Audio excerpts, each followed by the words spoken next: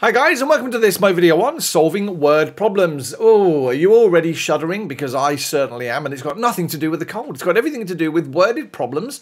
We hate worded problems, don't we? Well, sadly guys, maths is all full of worded problems and ultimately you're going to have to get used to doing them, um, particularly in this section of the course. Now, my name's Darren from Maffs Guru. Thank you very much for uh, watching this video. If you are indeed watching the video, uh, if not, this is going to seem really weird. Um, basically, can I ask a massive favour? Can you subscribe to my YouTube channel? Um, I do these sitting in a room talking to myself, other than the dog who's lying fast asleep and I'm a little bit jealous.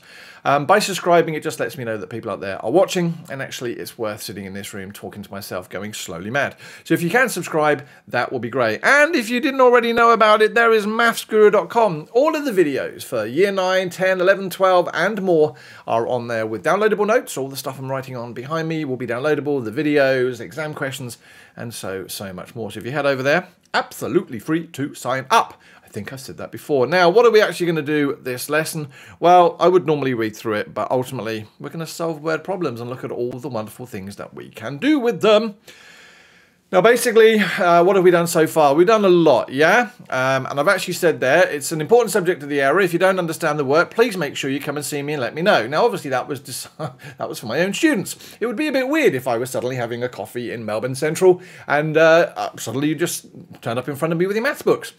Although actually, that would be quite nice. Um, yeah, if you see me around, say hi and um, obviously ask me any maths questions you have um, and I'll do what I can. But the reason people struggle with worded problems is really the English. And what they tend to find is the people who have better English skills tend to do better in maths. That's not to say that if you struggle with English now, you turn around and say, yeah, I'm not doing this anymore. Um, basically, it's something you can learn.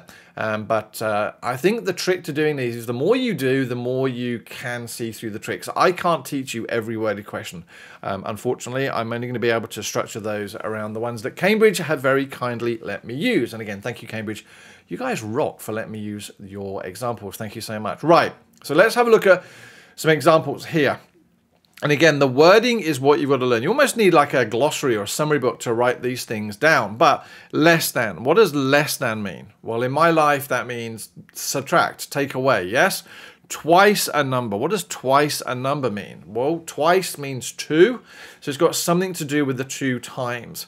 Now, the trick in all these questions is when we say a number, you've got to choose an appropriate variable to stand for. And then I suppose in maths, it makes perfect sense, really, to use the letter X. So whenever we see the number uh, or the words a number, let's have a look at using X as the variable. So let's have a look here. One less than twice a number.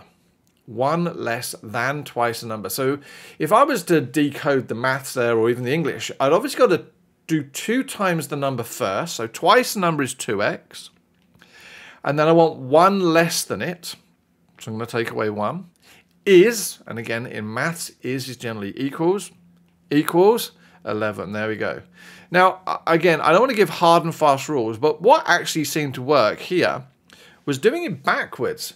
A number twice than one less. Hmm, reading it backwards doesn't work quite so late. But what we did was we did twice a number, then we did one less than, and then we put it equal to 11. So let's see, does that work with the next one? So let's rub out what I've got here. Let's do a highlight of my next question and see what happens. Right, Ben earns X dollars per week.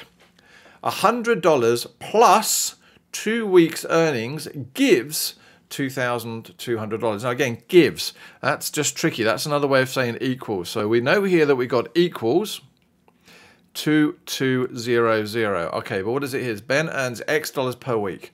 $100 plus, well, that's nice. We know what plus means in maths.